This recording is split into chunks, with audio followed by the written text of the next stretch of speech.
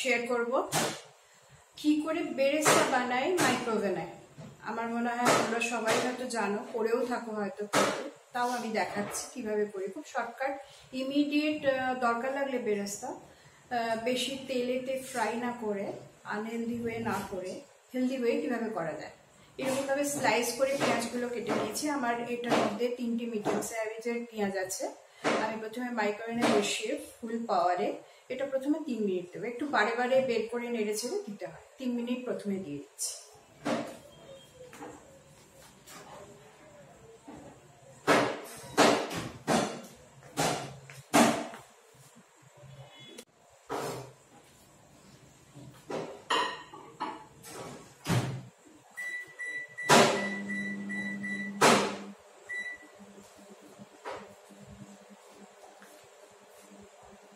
Minute হয়ে গেছে, এরকমভাবে একটুখানি বের করে নেব।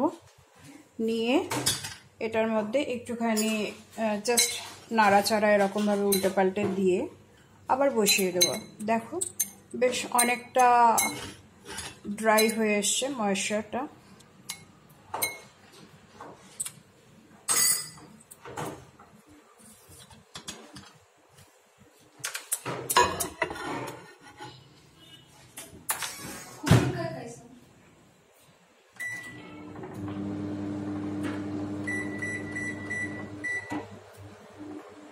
মিনিট হয়ে গেছে, আবার বের করে নিয়েছি। এবার দেখতে পাও যে অনেকটাই প্রায় শুকিয়ে এসছে।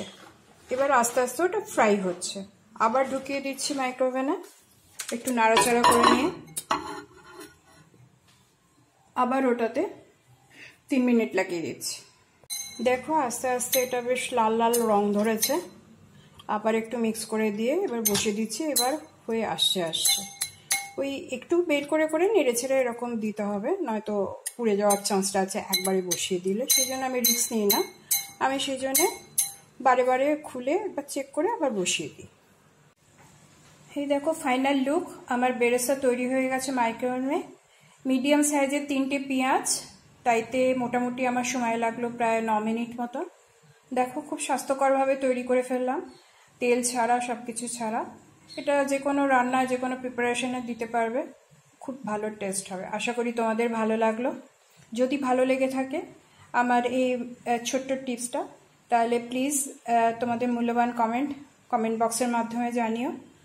আর অনেক অনেক লাইক করো শেয়ার করো। আর আমার চ্যানেলটাকে সাবস্ক্রাইব করো। আমার চ্যানেলের নাম সুইট মোমেন্টস উইথ মি সবাই ভালো থেকো, সুস্থ থেকো। ততক্ষণের জন্য এখানেই থামছি। আবার আসছি নতুন আর একটা মাইক্রোওভেন টিপস নিয়ে তোমাদের সঙ্গে শেয়ার করতে।